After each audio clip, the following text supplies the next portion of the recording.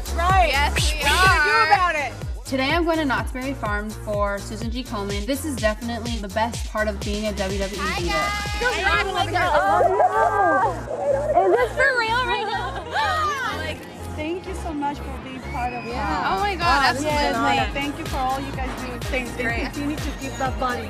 Oh, yes. I just finished my chemo a month ago. oh, so Look, my, some head. my mom's a breast cancer survivor now for 26 years. You're good. Yes. You're good. Congratulations. All these women that have survived breast cancer, their life is a roller coaster. So if I can go and put a smile on their face, that's what it's all about. Yes. I love you. But I love how like positive. Yes, that's the stuff that's like really puts other things like this Drama with the girls, in perspective.